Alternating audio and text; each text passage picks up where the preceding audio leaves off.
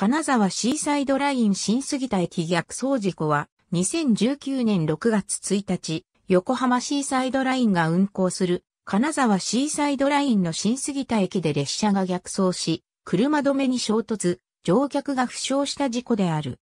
道路線発の鉄道人身障害事故となった。2019年6月1日午後8時15分頃、新杉田駅発並木中央駅行きの2000系5両編成の電車は旅客の乗降を終え、ドアが閉まると同時に進行方向とは逆方向に起動し、25メートル先の車止めに衝突した。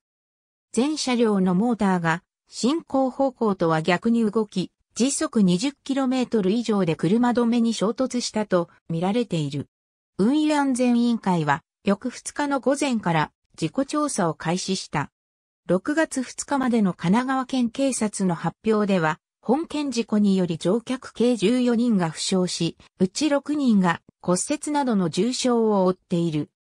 8月31日、神奈川新聞は17人が負傷したと報じているなお、当該車両は6月2日午後から3日午前1時までに別車両を用意して、金沢区の車両基地まで牽引、収容された。運輸安全委員会の事故調査報告書によると、直接の原因は進行方向を折り方向へ設定、指示する回路が1両目の客室の後部左側にある、機器室内で、地落ショートし断線したことである。また、システム上の問題として、上下いずれの進行方向も指示されない場合は、モーター制御装置に記憶保持された。進行方向を引き継いでそのまま走行する仕様となっていたこと、地上側での進行方向の確認をモーター制御装置よりも上流部分である運転台選択線で行っていたため断線を把握できなかったことが挙げられ、これらのいずれかが適切な仕様であれば列車は発車しなかった。さらに ATG の交代検知機能が指示された進行方向と逆に走行した場合に機能する仕様となっており、回路断線で進行方向の指示がどちらにもない状態で天道を検知した場合は機能しない仕様であったため非常ブレーキが作動しなかった。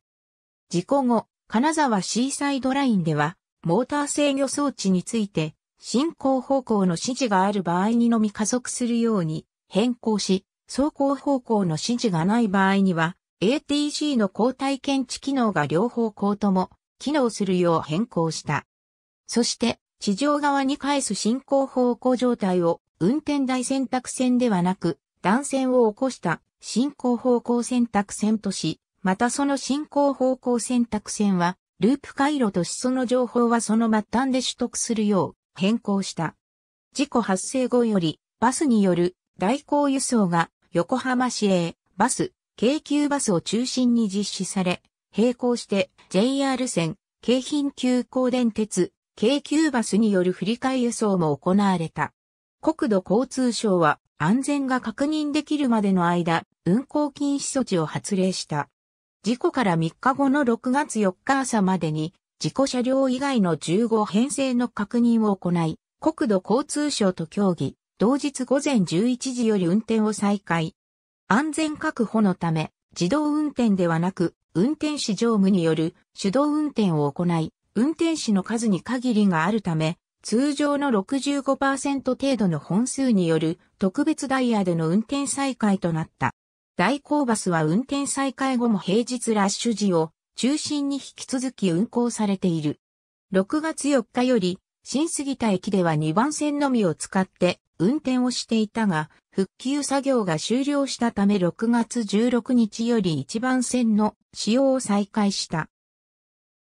2019年7月1日以降、平日朝夕のラッシュ時の運行本数を増便する。一方、利用者の少ない早朝や深夜の運行を減便すること、土曜休日は原則10分間隔で運行すること、これらの臨時ダイヤ改定により、平日朝の新杉田駅市大医学部駅間の代行輸送バスは運行を取りやめることが6月26日に発表された。なお、無人による完全自動運転の再開の目途は立っていないとも伝えられた。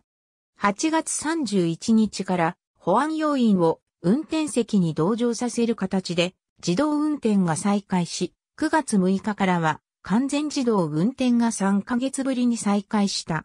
完全自動運転再開から約1ヶ月間は1万1に備えて、両方の終端駅に保安要員を配置すると報じられている。ありがとうございます。